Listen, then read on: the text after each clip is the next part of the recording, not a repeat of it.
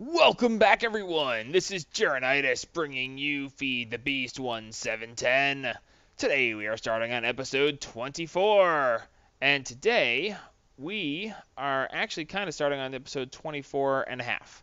Um, I started recording episode 24 and I did a couple of things and then I stopped for a second so that uh, I could do a little couple little things and uh, you know just a just a normal cut and uh, I kind of uh, didn't have my microphone on, uh, and I realized that. So the first basically eh, 12 to 15 minutes of this episode that I recorded are silent. So just yeah.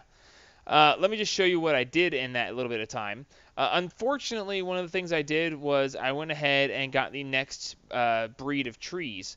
Okay, in between the episodes, uh, that would have been anyway. Uh, I spent a little bit of time uh, letting my bees pollinate the trees. Uh, I leveled this mountain the rest of the way because I wanted to let my bees run, and I figured I'd do something useful while the bees were running.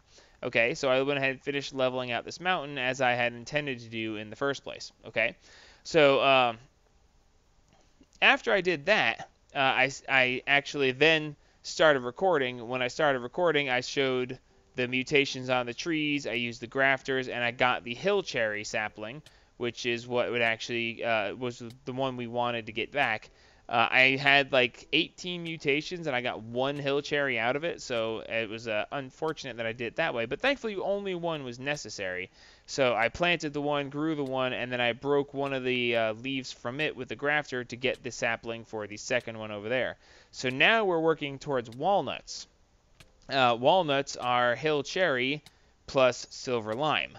Okay, and uh, these have been running for just a few minutes, and uh, so yeah, I kind of messed that up. Uh, the other thing I did was we were basically we were having combs and bees being produced by the bees running. Okay, and when they cycle through, you get extra bees and you get combs. Well, I got tired of walking back and forth picking the combs up out of these chests and then bringing them over to the centrifuge. Okay, so what I did was, and this is something again that was in the silent part of the episode. Um, I basically devised a plan to automatically remove the things from the uh, from the chests. Okay, so what I did was I took this chest right here, and I made this an intermediary chest, and then I put an item pipe here, and basically these item pipes were going to run from right here all the way back over and underneath each of these chests, okay? Then all of these underneath here would be set to automatically extract inventory. Okay, when they automatically extracted their inventory, it would go to this chest. Now, I didn't want there to be any bees that got to get taken from those chests and brought over here. So what I did was I put the item filter I had left over from last time in here, and I specified to have it pull combs, okay? and it's whitelisted on combs. It's ignoring metadata and NBT. Uh, NBT is really not relevant in this case, but I did it just because it was there. And uh, and basically, I put one comb from forestry, one comb from magic bees, and one comb from extra bees, because all the combs share the same item number. Uh, they just have different uh, metadata. As you can see, the colon 6 on the end of this one. So this should automatically empty only the combs out of these chests. Okay. Anyway, so once I got that going, uh, basically I ran all of the. Uh, I, I made it so that when the combs got here anyway, that they were extracted from this chest and put over into the centrifuge. Now, the problem with that would be once the centrifuge was full with one type of comb, the centrifuge would then be full as an inventory space, right? And any other combs would then, instead of uh, going into centrifuge, would bypass the centrifuge and go to the barrels and the chest on the end of the barrel that I set up. Okay, and that's over here. Sorry, I was going to show you that, but I didn't want to get blown up again. Uh, so when the centrifuge centrifuges things, it is automatically extracted, sent past these barrels, which are holding the more common items that we're going to be getting, and then in the gold chest here is where we get the excess stuff that we're not going to have that much of, right? So the problem was that the combs would come here, then they would get extracted, fill the centrifuge, and then wind up over here in the gold chest. Well, what I did then was I basically made it so that the brown color, as you can see here, uh, when you make these, you can have the channels be colored, right? So I had the brown channel was the only channel that goes into the centrifuge. Okay, now the centrifuge here is moving items in and out at the same time, but on the insert mode, when you go here, it's on insert, uh, insert is on the brown channel. So only things from this chest can wind up in the centrifuge, right? So then the combs would go to the centrifuge, but since that's the only inventory on the brown channel, only the combs could go into the centrifuge. The brown channel does not go into the golden chest. So the combs would wind up here and they would just wait their turn to go into the centrifuge. Okay? So that is actually pretty decent. And I had a little bit of trouble, trouble troubleshooting that. But uh, we got that working now. Now, the only other side effect of that is when we have a silky comb produced by the uh, uh, tropical queen. I was trying to say jungle, but it's tropical. Uh, they produce the silky comb, and the silky comb produces silky propolis. Well, the silky propolis has to be recentrifuged in order to get what we want out of it, that being propolis and the silk wisps. Okay, so once it's centrifuged once, it winds up back over here in the golden chest, right? So what we did then was we basically took the uh, gold chest and we added a brown input to this chest, okay? The brown input from this chest is going to take anything from this chest that can be recentrifuged and put it here. So any silky propolis that's in the golden chest will get pulled back over to the centrifuge and recentrifuged, okay? And that's basically what I had done before I realized that my microphone was messed up. So that's basically where we were.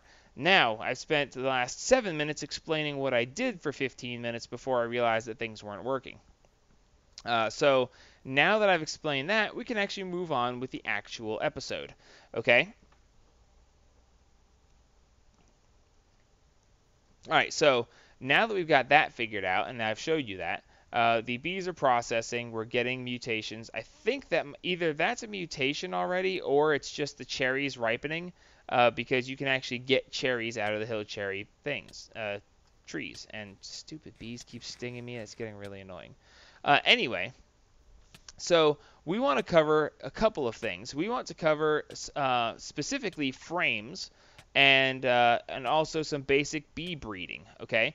Uh, one of the other things that I had started doing in between episodes is I started trying to forcefully get more tropical bees. Okay. Uh, the tropical bee that I had gotten from the villagers was not purebred. Okay. However, through dumb luck, it wound up cycling through multiple times and becoming a purebred, pristine stock tropical queen. And that really was lucky because it had a big chance of not doing that. Okay. So anyway, we wound up with the purebred tropical queen, and she's been cycling through quite a bit. And we t- basically what we did was we took the tropical queen's extra drones that she was producing because she became pure enough to make drones that were identical, so they started stacking.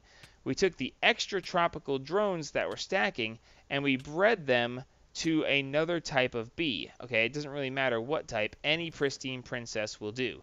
Okay, and actually, I'm actually fixing to do it again because I can and I need to.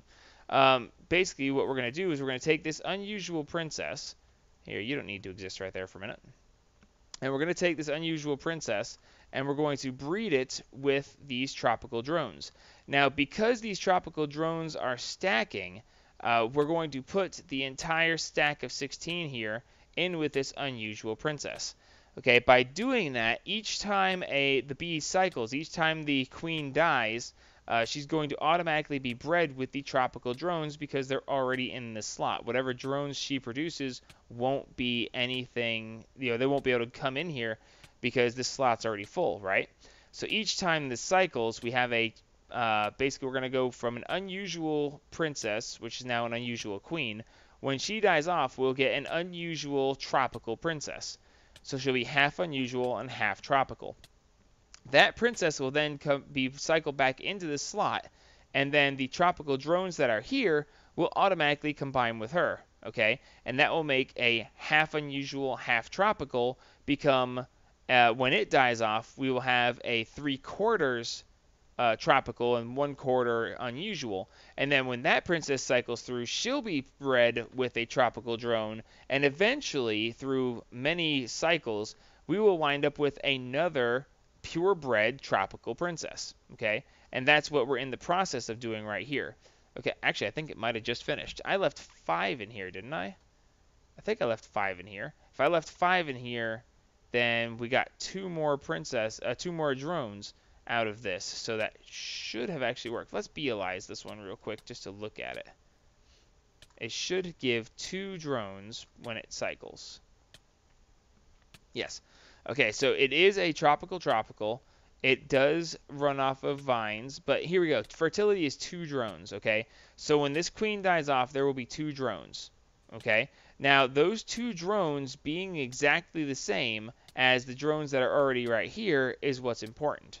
Okay, when she dies off, the princess will be tropical, and the drones that we get will be identical to the ones that are already here, and therefore, when they cycle through, they will stack on top of these. Once they do that, we know that this will constantly produce the exact same thing every time it cycles because we have forcefully bred them to be identical to the one that gave for it, which is this one here. Okay? So that's the way we force ourselves to get more tropical bees. And we want more tropical bees because we need the products that the tropical bees are producing. Uh, that being the uh, propolis and the silk wisps. Okay, uh, so that's what we're working on there. Now, once we get that done, well, actually, that's processing on its own now. We just need to remember this has seven drones. If we come back and it has nine drones when this finishes its cycle, then we'll know that that's complete. And if we want to, we can force it to do it again. But for now, we're not going to worry about that. What we are going to do is get started looking at frames. Okay, uh, frames are what we can use to uh, help our bees to continue to do stuff. All right. Uh, well, we can manipulate our bees with the frames. Let's put it that way. All right, so there are quite a few types of frames. Uh, in this case, we're going to be working with the normal frames and the extra bees frames that go along with. And I don't need this magnet on right now, so I need to put that in and start charging again. All right, so what we're going to be looking at is the basic frames, which are the untreated frame, the impregnated frame, and the proven frame. Okay, the normal untreated frame is just sticks around string. The impregnated frame is impregnated sticks around string. And the proven frame doesn't have a recipe. You get it from trading with villagers. What did I just do there? Oh, okay, never mind. I brought up something else. Which is going to be really awesome, but we'll have to get to that later. Okay, so uh, basically we want to make some impregnated frames. Uh, the reason we want to make impregnated frames is because they are the base frame that we use to make the other frames that we want to make. So to make impregnated frames, we need impregnated sticks. Impregnated sticks are logs impregnated with seed oil. Haha, told you we're going to need a bunch of that. So what we're going to need now is some logs. This should do. Uh, let's grab two of them. And we're going to go out here. I think we've got almost 10 buckets of seed oil if I checked last time. Yes, 9.980. So yeah, almost 10 buckets. So basically in the carpenter using seed oil, we put this pattern in and it makes two impregnated sticks out of impregnated logs. That seems a bit expensive to me, but who am I to argue? So we take these impregnated sticks and once we get eight of them, we can go ahead and make an impregnated frame. Okay, now for the purpose of this, I went ahead and brought a uh, crafting station out here with me. And I thought I had... Guess not. I thought I had brought a uh, some string with me, but apparently I have not. Mob drops, string, thank you. Actually, we'll just do this right here since we're standing here. Uh, one piece of string and the sticks makes one impregnated frame. Okay, there are several frames that we're going to be trying to work with this episode, and uh, let me just explain the purpose of the frames, and I'll tell you what they do. Okay, the purpose of the frames, by the way, the normal frames, basically what they do is they increase your bee's productivity and lifespan. In other words, they produce combs more often and live longer. Okay, the only difference between the untreated frame, the impregnated frame, and the proven frame is their durability. Okay, uh, they both like all three of them have give the same increase in productivity and lifespan. It's just that the untreated frame breaks really quickly, uh, the impregnated frame not quite as quickly, and then the proven frame lasts the longest of all of them. Okay, and what we're going to do is we're going to use the impregnated frame and we're going to change that to suit our purposes. All right, so let's see. The chocolate frame from Extra Bees is basically an impregnated frame and some cocoa beans. The chocolate frame makes your bees die faster. Okay, and you might think, why would you want your bees to die faster? Well, there actually is a good purpose for that, and we're going to get that. Yeah, we're going to get to that in just a second. Okay, because that's one of the ones we're going to be using. Uh, the second one is the restraint frame, which is just the impregnated frame and iron bars. Uh, this frame basically cuts down the distance that your bees travel or their effect range. Okay, so I could use these on my tropical bees and make it so that they don't travel out as far, and it gives me a less chance of being stung by them because they don't reach out as far from the apiary that they work in. But we're not going to worry about that right now because I really don't think that's worth you know doing. Uh, the next one is the soul frame. The soul frame is another one that we're going to be using because it is very handy to have. The soul frame is the impregnated frame plus some soul sand. And basically what this does is it increases your chances of mutation during a bee's life cycle. Okay? What that basically means is it increases the percentage chance when you are breeding bees to get a new type of bee. Okay, and I'll get into that a little bit more because we're also going to be using that this episode. All right, after that is the healing frame. The healing frame is impregnated frame plus clay, and that basically extends the life of your bees. Uh, it makes them live longer, but it, in making them live longer, it also reduces their productivity. Uh, so they don't actually uh, produce as much stuff, but they do live longer. Uh, it also decreases the chances of a mutation happening. Okay, after that, there is the Nova frame. The Nova frame is a creative mode only uh, frame. It is used for testing purposes. It basically makes your bees die after one tick or one uh, one uh, impact to their life cycle. Okay, uh, so that is only for testing purposes. So uh, they actually have one called the Oblivion frame from Magic Bees that does the same thing as the Nova frame, and uh, it's craftable. we'll get to that. Um, hopefully, I'll find some there. They can be found as dungeon loot, and those things make working with bees like incredibly easier. Um, but yeah, we'll get to that. So what we basically need to do now is we need to make impregnated frames, and I want to make uh, soul frames, which are going to be used for breeding, and chocolate frames, which technically are going to be used for breeding as well, but uh, also for helping force to force the bees to have uh, more tropical bees quicker because uh, I'm impatient and I want them to die quickly so that they can become tropical easier. Now, the problem that we have here, first off, is because we need chocolate frames. Okay, for chocolate frames, we need cocoa beans. Now, there are several ways that we can make cocoa beans. There's actually a really, really easy way, and I, I don't want to do that. It's too easy. Uh, actually, I'll go ahead and show you just because. Um, slime plant seeds become cocoa beans because they are essentially brown dye. But I don't want to do that. That's too easy. I want to do something that's a little bit more complicated, but also is funner and is also going to help me out in a second way. Okay, I can do this. I can do this really easily, but I eventually will run out of slime plant seeds, okay? And that's not going to help me because I can't grow more cocoa beans right off and I'll show you why here in just a second. Uh, you can take brown wool and pulverize it and have a chance of getting cocoa beans, or we could do a mana infusion to get cocoa beans. Now, I'm going to do it this way, and the reason I'm going to do it this way is because it actually is going to serve two purposes, okay? So, I'll get I'll just show you what it means, okay? We're going to make an alchemy catalyst.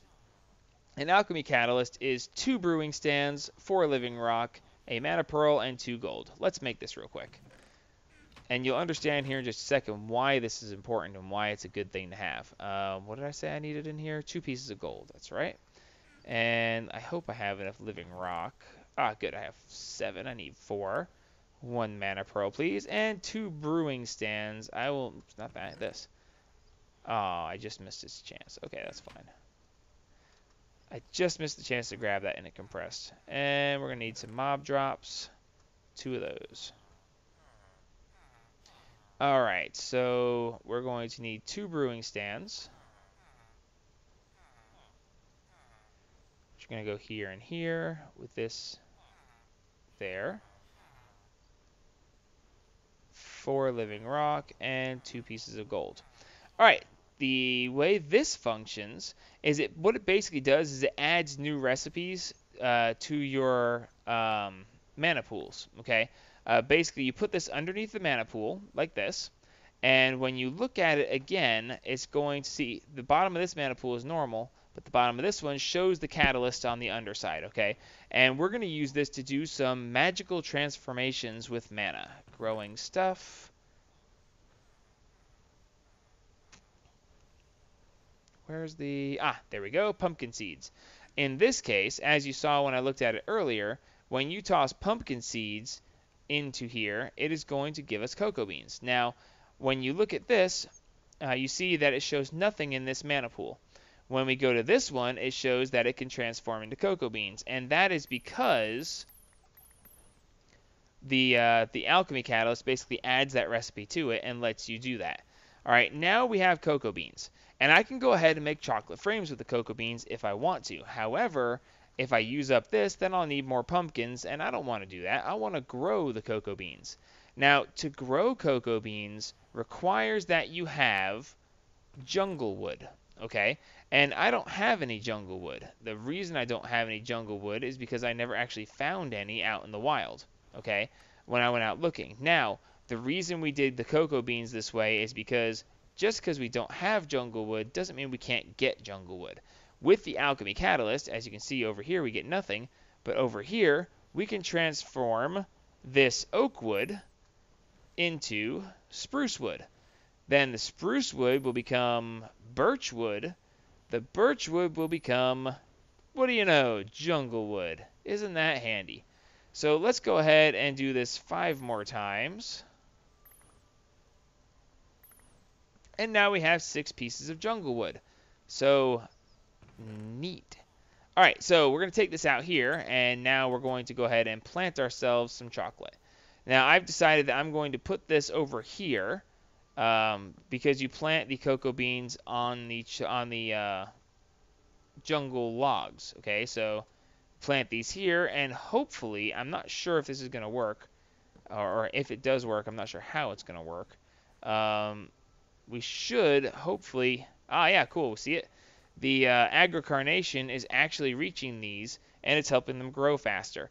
Now, I don't know if the grind, if the harvester is going to harvest them automatically. That would be less than desirable. But uh, let's see. Let's grab my Sigil of the Green Grove and force these to grow a little bit faster. Alright, let's leave them for just a second and see if the harvester hits them.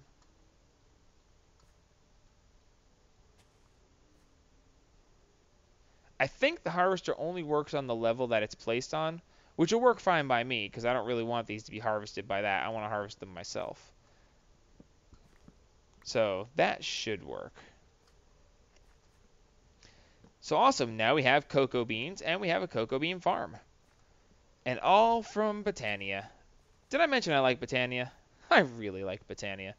All right, cool. So um, we're going to go ahead and take some of the impregnated frames that we stole from the villagers, which, by the way, if the impregnated frame has damage on it, it actually cannot be used to be changed. So only undamaged impregnated frames can be transformed into other versions of the frames, okay?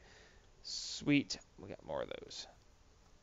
And we can go ahead and make some more impregnated frames this way. Excellent. That should be more than enough for the moment. As a matter of fact, let's put some of these back just for inventory space. Queen goes there. Drone goes over here. All right, so now that we have that, let's walk in here real quick and grab some soul sand. Do you mind?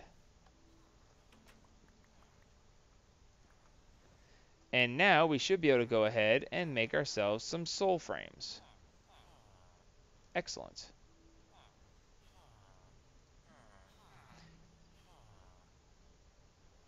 No, over there. All right, so one of the other things we're going to need to do is we're going to need to set up a breeding section uh, for the bees. And the breeding section we don't want to be automated. So I can either unautomate one or two of these, depending on how many different types of breeding I want to try to do at once, or I can just create a couple more uh, apiaries for the purpose of breeding. Uh, in this case, I'm going to go ahead and create two apiaries to be my breeding apiaries. So give me just a second to do this. We'll get them set up and we'll get started with breeding. Be right back. All right, got ourselves a breeding area. Just put it off to the side just a little bit right here. Uh, of course, you know, once we get to a certain point, we'll have to build the actual bee enclosure, uh, which will, of course, be called Honeycomb Hideout because any bee enclosure that I build, in mass anyway, will be Honeycomb Hideout. Uh, anyway, but uh, what we're going to be doing here is we're going to start the breeding process. And this is actually a fairly simple process. I'll probably go through maybe the first or one or two breeds, and then I'll show you, uh, and I'll do most of the breeding off camera. I might just pop in and say, look, this kind of bee, and then, oh, look, now it's this kind of bee, and something like that. Uh, last season, I did a whole bunch of breeding on camera. It actually seemed to be kind of popular, but, uh, eh, too much breeding. Did I just get hit by a butterfly? Did that butterfly have thorns on or something? Sure, whatever. Anyway, so um, breeding. When you are breeding, uh, the first thing you want to do is create what is called a common bee. Okay, now technically speaking, I have accidentally come into a couple of these bees already, but I want to just go ahead and start from scratch because those happened accidentally, and this we're going to do on purpose. Okay, so the common bee is basically any two uh, world gen bees combined. Okay, unusual, sorcerous, rocky, embittered. There's 33 pages that all make common. Okay, they all have a 15% chance of happening, and it literally is a princess of one type and a drone of a different type. Okay, any of them will work. In this case, we're going to go ahead and use a unusual princess, pristine stock, and a Meadows drone. Uh, well, he doesn't have stock, okay? And what we're going to do is we're going to go ahead and put three chocolate frames in here, and by doing this, we're going to basically have them die faster. And there are flowers nearby, so this should work rather nicely. Now, normally their life would tick down rather slowly. With three chocolate frames in here, it's going to tick down a lot faster. So um, I believe that every 27 seconds or so, uh, they will do the lifespan will tick once, and the amount of life damage that they take is based on the uh, the traits that are there. Like uh, lifespan is, uh, you know, if the lifespan is short, then it will take more damage per every 27 seconds. Um, or if the lifespan is long, it'll take less. So in this case, this must have actually a pretty decent lifespan for it to be, with three chocolate frames, uh, take that much damage. That's surprising. Maybe I picked the wrong type to go with. Um, I want your morph. Whatever. I'm not even using morph this season. It's just funny to know I can have it. Um, so yeah, the princess is probably the one that makes the difference. Let's see. Let's go ahead and hit this up for a secondary one.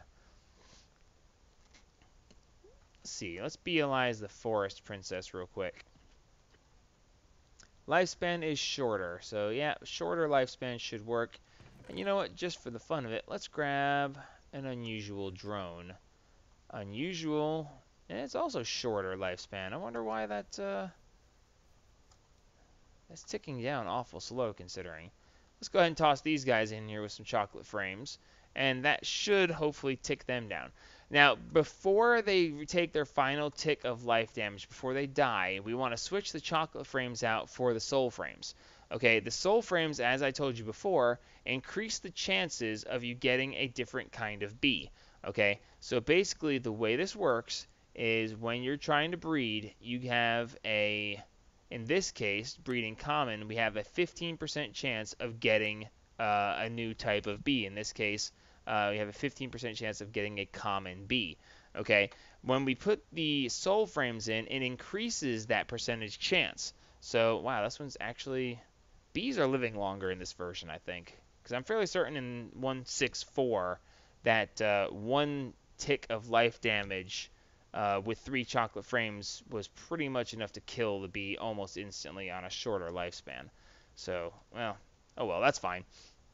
But uh, so anyway, when you have a 15% chance, when you swap these out, I don't know the exact percentage, but it increases the chances from 15% to I'm, I'm I don't know maybe 5% per frame. Uh, that may be right, maybe it's probably wrong.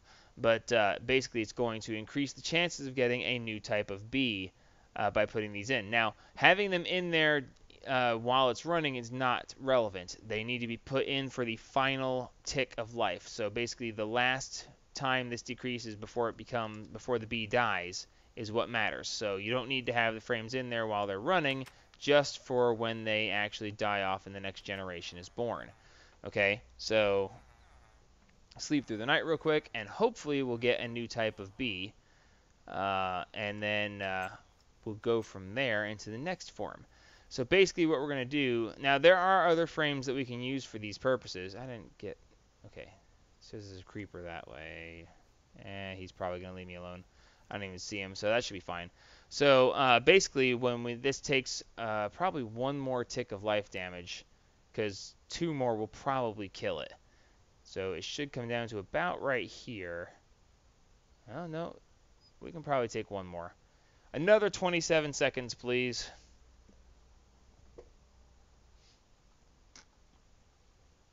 And then we're going to swap these out for the last one, and hopefully we're going to come out with a common princess.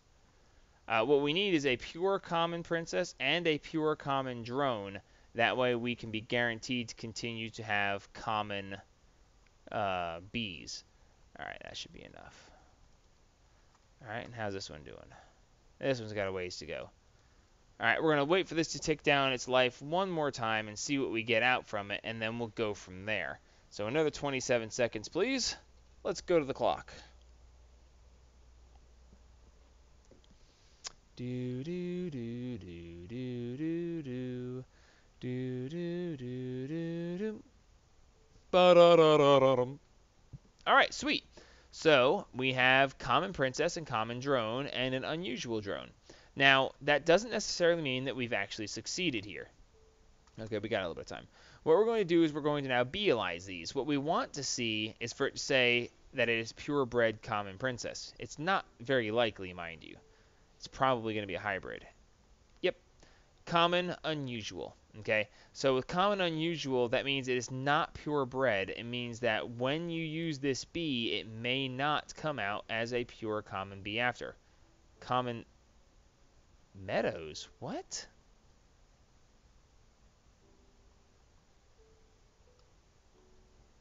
Common unusual. Oh, okay, yeah, okay, so this one went meadows. Because this was... Wow, lost track for a second there. Uh, and then this one is going to be unusual common. Okay, so now that we have something that actually says common on it, we want to choose the next most logical one to try to get a purebred. Okay, so this is common unusual. This one is common meadows, and this one is unusual common. So basically, these are both going to work out the same. So we want to uh, compare the two and see which traits we want most. Okay, the unusual drone has temperature normal and both 2. Both 2 means that it is uh, both uh, it's tolerant up to and down to. It also is a slower worker as opposed to the slowest worker. So we want to use this drone with this princess, and hopefully we'll wind up with purebred common bees that have all of the traits that we want. So now we put the chocolate frames back in here, and at the last minute we're going to swap. I missed this one. Nuts. Oh well. How did that happen? That shouldn't have been that quick. Oh, whichever. Let's go ahead and beelize these real quick. Oh, look. A common, common princess. Nice. That one worked out perfect first try. Common forest drone and a common meadows drone. All right, so now we have a pure common princess. That is actually pretty awesome. To get that on the first try like that is fairly lucky, actually. Let's just do these guys too. Forest unusual. Yeah. All right, so now that we have this purebred common princess, we need a purebred common drone to go with it. All right, so As long as we have that, then we can run them together, and as long as both the uh, active and inactive traits are both common on the princess, and as long as they are both common on the drone, when they run together, they are pretty much guaranteed to only produce common offspring. Okay, because there's no there's no extra genetics in there. It's just common and common. Okay, so we have the princess. Now, unfortunately, with just the princess, if we don't have a full-bred common drone to go with, then it's still not going to be good enough. What we're going to wind up having to do is either hope to get a pure common drone out of this pairing, or in this case, we can put the pure common princess and put one of the partially uh, common uh, drones in here with her and hope that it doesn't uh, dilute the pool, I guess is the way to say it. Uh, so we're going to run the pure common princess with the partially common drone and see how this comes out. We'll be back in just a second when both of these are ready to look at. Alrighty, here we go. This one unfortunately did not turn out very well. We went with forest drones. Uh, so those obviously are not going to be pure common drones, but uh, did the princess still stay? Nope, princess got diluted. I went from my full common princess to a not full common princess. So that's disappointing to say the least. This one wound up common unusual, and oh, well, there's a full common drone. So if I had just been patient and waited, I would have actually gotten what I wanted. Oh well, so there's a common forest. Let's go ahead and use a um, forest unusual. Actually, let's go ahead and see which one of these common meadows, common cultivate, forest cultivated. Really, guys? We're gonna go for the cultivator right out of there, huh? That's fine. So, yep, we're just gonna put the common unusual princess in here, along with a common unusual drone or a uh, you know what? Whatever. We'll put common and common together. That's not the greatest in the world to try, but sure. We're keeping the common drone off to the side because that will actually work in our favor. Unusual, unusual, you're useless. Forest cultivated, forest unusual, forest common. There we go. Toss this forest common one in here. Replace them all with chocolate frames again. And back around we go. Give me a minute. Alright, here we go again. We wound up actually with a cultivated drone, which is kind of ironic considering I actually want to go to cultivated next. And we have a possibility of a purebred common princess. Please be purebred. Common forest. Ugh. Common forest. Common unusual unusual cultivated. Now that's kind of ironic. I'm going to actually cultivated common. I'm going to put these two together and see if I might come out with a pure cultivated princess. Uh, because, you know, they both have cultivated uh, as part of their setup, so I might get lucky and go straight to cultivated. Although I do need to stop at common in the middle. So this is a common forest, this is a common forest. We're going to throw those together. And unfortunately, we don't have enough time in this episode. I'm already over by quite a bit. Uh, so we're just going to let these run. Uh, just to let you know, I am going to get. I'm going to keep doing this until we get the common uh, princess. Then I'll combine her with this common drone. Once I do that, I will put her into the auto cyclers over here, and I will let them cycle through until I get a bunch of extra common drones. Okay, once I have the extra common drones, then I can do common bees plus any world gen bees to try to get cultivated. Okay, cultivated is actually what I want because they have a bunch of the really good traits that I want. So that's what I'm going to work on in between episodes. Next episode, we're probably going to get away from bees and trees for a little bit. I really need to get that auto mining setup going. So hopefully by the time next episode comes, we will have uh, some walnut trees. And then we can try to get uh, some walnuts and uh, I think it's silver lime and walnut uh, combined in order to get the chestnuts, and that would be really cool if we could do that. Uh, and then after we get our auto mining started and get our chestnuts automated, then we're gonna need to uh, to get started on genetics so that we can start using all these traits that we're getting from these uh, different kinds of bees. Although I'm not sure if we'll do it in that order. We'll have to see. I'm gonna let these run for a while and get myself some bees that I want, and we'll be back next episode. So until then, this is Jarrenitis signing off on episode 24 of my Let's Play series. Like me if you like me, subscribe if you want to see what I get into next, and as always, help spread the gaming!